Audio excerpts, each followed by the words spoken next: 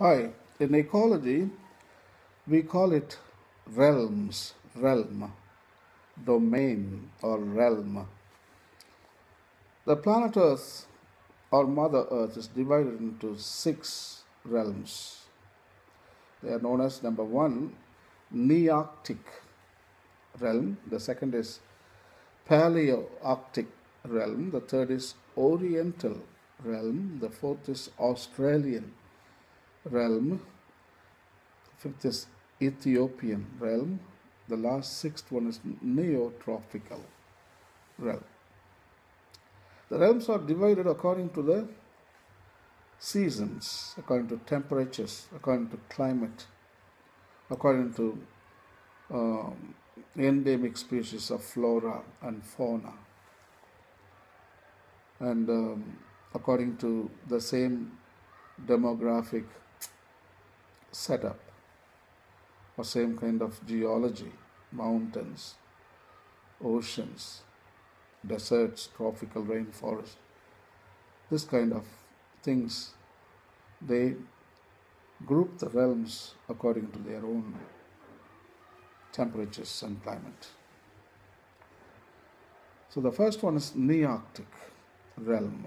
It comprises of north america and canada See, North America and Canada, they are almost similar, cold climates. Ice, glaciers, and the wildlife too, polar bears, and grizzly bears, Arctic fox, all those animals, the moose, the reindeer. So, Nearctic realm, that is North America and Canada. It's beautiful. In the northern part of Canada, you have boreal forest and also other ecosystems like tundra, taiga, boreal forest, and you have chaparral, and you have savanna, and you have got deciduous forest of North America. Deciduous forest, they change color, they shed their leaves during autumn. So Nearctic realm. You don't find Bengal tiger in Nearctic realm. No. you don't find grizzly bear in uh, India or in Africa. So there is a realm to which certain amount of endemic species of flora and fauna by default they are born there, they live there, they die there. The second one is Palearctic realm, that is Europe, Asia, a little bit of northern part of Asia, North Sahara. This area comprises of desert, big grasslands in Asia. They call it steppe in Russia or savanna or grassland. And in Europe, we have similar plants and animals, and part of the time they don't have snow, they have green cover, lot of animals, and they have deer, they've got bears, they got different kind of flowers, alpine climate. So they have got plenty of wildlife. They're all right, Arctic. So in these regions, sometimes leopards. Leopards are versatile. They live everywhere. One leopard lives in Russia. It's called Amur leopard. The Indian leopard can't live in Russia. Russian Amur leopard can't live in India. They are endemic to Palearctic. For example, another is lynx. It lives there. Bobcats, sloth bear, black bear, sorry. And sometimes some not snakes, amphibians, birds, lots of thousands of species of birds live in Palearctic realm. The third one is Oriental realm, that is us, India, South China, and Indonesia, Malaysia, all this section, Far East Asia. They all come under Oriental realm.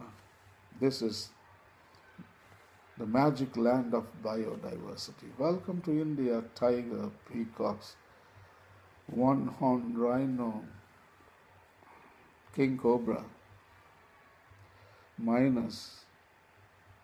There are so many snakes, cobras, monkeys, langur, rhesus. Even northeastern part we find some orangutan, gibbons and siamang. So this is Oriental realm. It's not a joke. Major part of species of animals live in Asia and India. There are a lot of endemic species of animals in Oriental realm. For example, Bengal tiger, Komodo dragon in Indonesia. Komodo can't live in Palearctic or Nearctic regions. No, absolutely not. it will die can never adapt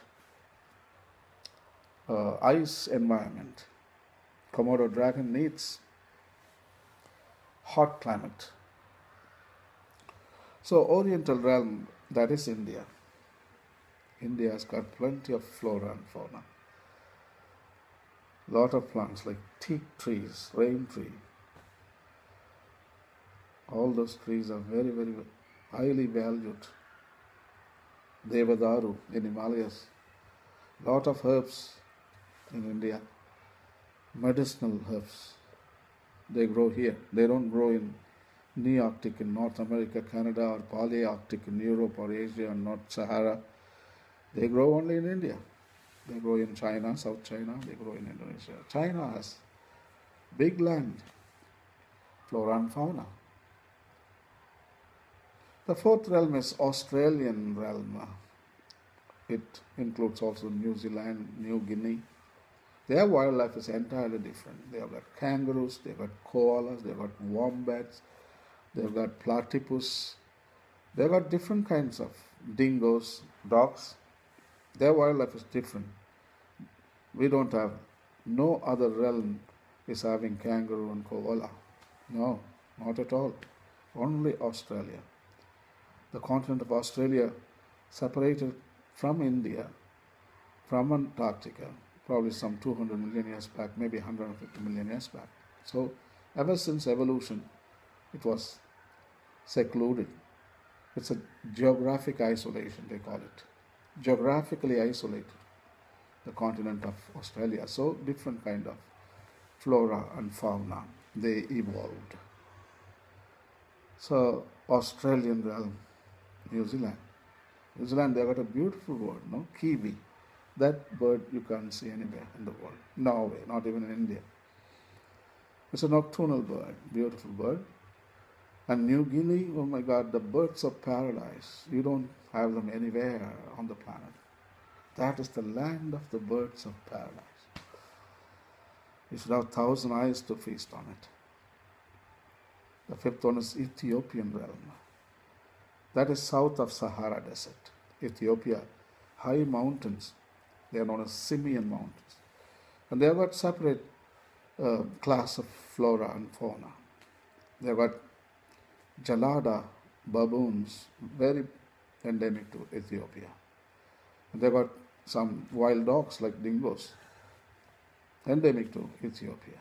And they've got ibex, endemic to Ethiopia. They have got high mountains. It's a beautiful country. So it's a separate realm.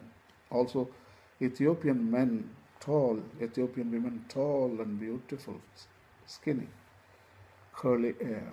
They are entirely different from Africans and Indians and other white people. So Ethiopian realm is unique. The last one is neotropical realm that includes South America and Central America. Okay, this is completely mm, neotropical. We can include also Africa, I think. because they're all one. And uh, neotropical is the tropical places. Serengeti, Amazon rainforest, all of them come under neotropical. And they house richest biodiversity because they are all in the equator line, 20 degree north, 20 degree south, full of wildlife. You don't find any wildlife, such kind of wildlife, Nearctic and Palearctic and Australian and Ethiopian, only neotropical, probably Oriental realm can come close to it, but neotropical is magic. I think neotropical has more than India, more than South China, more than Indonesia, more than Oriental realm. So it's the magic land of biodiversity, Africa, South America, Central America, all of it. So these are the six realms. I hope I explained a little bit about it and you can Google and go for further research and learn about the realms. Six realms again. Want to summarize. The first one is Nearctic realm. The second one is Palearctic realm. Third is Oriental realm. The fourth is the Australian realm. The fifth is the Ethiopian realm. The last one is the New Tropical realm.